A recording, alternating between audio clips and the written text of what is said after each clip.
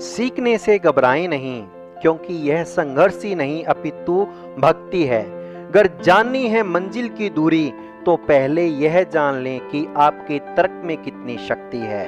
नमस्कार, मैं Raman Saran, director Lakshya coaching classes. आप पढ़ेंगे मेरे साथ तर्क शक्ति। नमस्कार, राम राम जी सभी को। राजनीति के साथ साथ मैं एक महिला भी हूँ। मेरा परिवार भी है।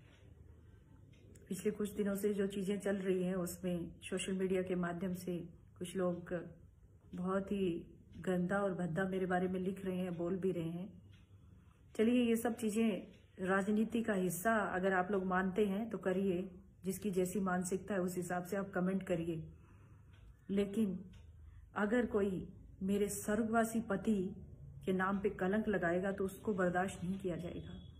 उसके खिलाफ मैं सख्त से सख्त कानूनी कार्रवाई के लिए कदम बढ़ाने जा रही हूँ।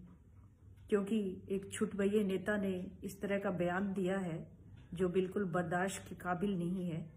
और कुछ लोग उनकी देखा देखी और लोग भी कमेंट के माध्यम से भी ये चीज़ें लिख रहे हैं। आप लोगों को बताना चाहती हूँ मैं आप सभी को कि मेरा परिवार हरियाणा के हिसार में रहता है, और हम लोग चार पीढ़ियों से हिसार में रहते हैं और पास का ही गाँव हरिता जहाँ से मेरा परिवार ताल्लुक रखता है। मेरी सास भी है, मेरे देवर जेठ भी है, मेरी नंदे भी हैं, मेरा सारा भरा पूरा परिवार है, मेरी बेटी भी है। हम लोग सब साथ में रहते हैं। अगर मेरे पति ने सुसाइड किया होता या मैंने उनको मारा होता तो क्या मैं इस घर में रह रही होती? और मेरे पति सुसाइड क्यों करेंगे? क्या कमी थी उनको? क्या परेशानी थी उनको? मेरे पति बहुत ज़िंदा दिल आदमी थे, बहुत अच्छे से अपने जीवन को जी रहे थे, और आज मैं जो कुछ भी हूँ, इस मुकाम पे पहुँची हूँ, वो मेरे पति की वजह से पहुँची हूँ। लेकिन कुछ लोगों को गलतफहमी है जो मेरे परिवार को जानते नहीं है, मेरे पति को नहीं जानते थे। बाहरी लोगों के कहने से सब बातें बनाते और कहते हैं।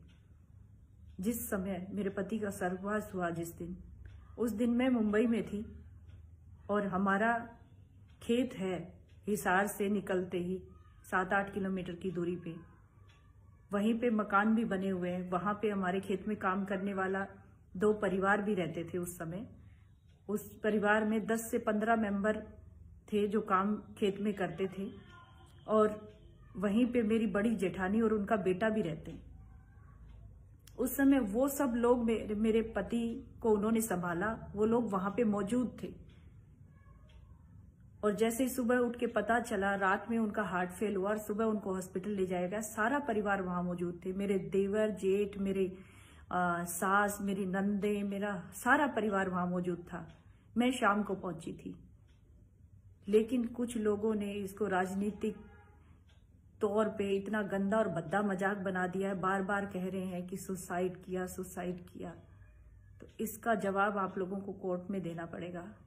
मानहानि का मुकदमा मैं दायर करूँगी, रिपोर्ट भी दर्ज करवाऊँगी, क्योंकि ये मेरे मान सम्मान को और मेरे पति के नाम पे कलंक लगाने की साजिश है, जो इंसान इस दुनिया में नहीं है जिसका सर्वगास हो चुका है, जिसने अपना जीवन बहुत अच्छे से जिया और एक नेचुरल डेथ उनकी हुई, उसको सुसाइड के नाम पे उन उन पे, संजय फोगाट के नाम पे कलंक लगाया जा रहा है, उसको मैं बर्दाश्त नहीं करूँगी।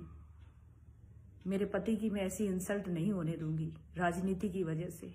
इसका जवाब मुझे चाहिए। जो लोग भी ऐसी बात कर रहे हैं, वो कानून का सामना करने के लिए तैयार हो जाएँ।